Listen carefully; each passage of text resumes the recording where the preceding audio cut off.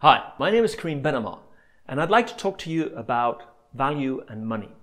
Now, we use the word value for the things that we value as human beings, things that we find valuable. But we also use it for financial value or for our valuables, so things that have a price. And ideally, we'd like to spend money on things that we value and that we find valuable. And more globally, we'd like the global economic system to help us to put the values that we value as human beings into the world to make those things happen. But what happens in practice? Actually, quite a lot of value is based on exploitation, whether it's of a cocoa or a coffee farmer, or the person who puts your garments together, or the person who puts your iPhone together, or the person who mines for the rare earth metals that are in your iPhone. A lot of these value chains are actually exploitation chains. And so by buying these products, we're not actually increasing the kind of value of those people. So one way to bring our values into kind of harmony with the financial value of things would be to pay a good price for things, to pay a price so that the people can have a valuable life, could have a good life.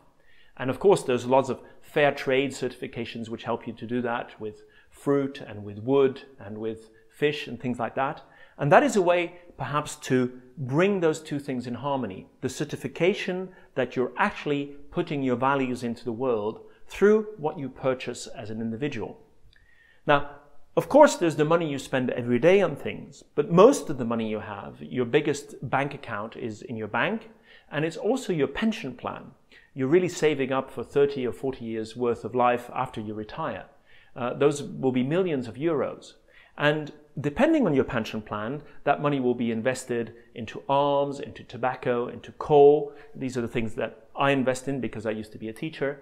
And the strange thing is, we'd like to invest for a future that we value, and we're investing in coal plants. Now, if we want a future where global warming is less of a problem, maybe that's not such a good idea. So really, what needs to happen is for us to get a say about how, the money that's being invested in our name, because those very large amounts of money, those thousands of billions of euros and dollars that are being invested in pension plans, are actually making the world as we have it today. Now, the third way is really the money that we spend uh, as a group, as a community. And most of that is on a kind of national level. Uh, we pay taxes and our money gets spent to pay for education, to pay for healthcare, but also to pay for all kinds of other things. Now, in the Netherlands, for example, we like to subsidy housing buyers because they can uh, get a tax rebate on their interest payments. And uh, globally, air travel is completely tax free.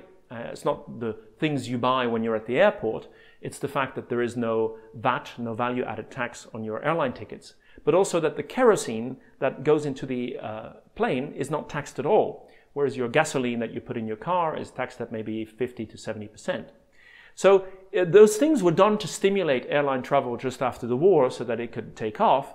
But you want to think if what we really want to do in our world today is to make air travel tax free. Perhaps we should pay a little bit more for it and use those taxes for other things that we value.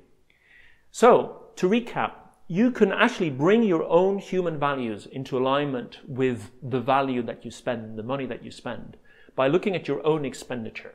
What are you spending your own money on? What kind of value does your, does your money cause in the world? You can think of it in terms of your pension plans and your investments because those have a kind of leverage strength. They're much more powerful. They'll get invested year after year and it has a huge impact on the world. And we could also perhaps start a political discussion about what we choose to subsidize in our world and whether the tax money that we get is spent wisely. Hope this got you thinking a little bit about values. If you didn't like it, sorry for wasting your time. If you did like it, share it, send it to other people, uh, join the YouTube channel, uh, look at the website, and see you soon.